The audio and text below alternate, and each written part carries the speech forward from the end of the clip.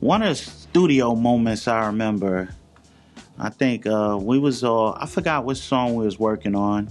We was in power play. We was in the C room. So you know, with a digging session, you know, beat be going, and you know everybody's in their mind, you know, thinking what they're gonna say, how they're gonna say it. So this dude, you know, talking about God bless Big L, always a jokester. The session going on, so he pretends like he's making a phone call, you know.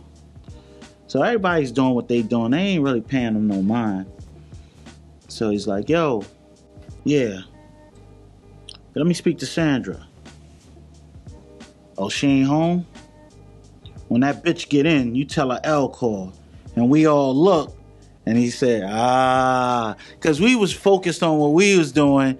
So he kind of made us pay attention to him, even though we wasn't focused on him. But that, if you hear somebody call somebody and be like, yeah, she ain't in, well, you tell that bitch when she get in L call, you know, it's gonna grab your attention. So when we all turned and look, all he did was point at everybody and go, ah, y'all be eavesdropping.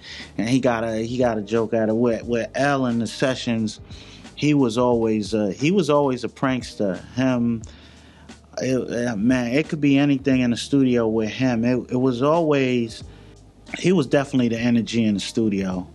Whether he's joking, whether you could have a hip hop debate, and you say who's the best rapper, and he would say somebody just left field, and you looking at him who, and he would do it to get up under your skin and when you get mad, that's when he even poured on even more. He gets you more mad because that's his goal. His goal ain't really, he don't care who the rappers is. He's just doing something to get up under your skin. So that was L, man, and definitely missed that energy. It was just hilarious.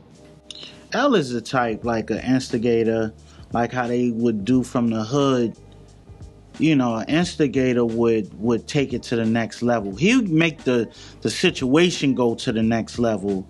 Like, you know, two dudes might be arguing and it's always that instigator go, "Hey man, dad, you let him say that about you?" Wow. Lucky it's you cuz if that was me, if that was me, that wouldn't even went down like that. But you like that, you ain't really built like that, so I understand that and he'll keep edging that point on and he'll escalate it into a fight. He'll have two dudes scrapping because it's just like, oh, wow. You let him talk about your family like that? You ain't gonna do nothing? Oh, that's you though. I understand that's you. But if it was me, it was me, I wouldn't even be trying to hear that. You know, instigated like that, L L could L could take it to the next level. He could he could get two dudes dumped just by by gassing something up. Yeah, L was like that.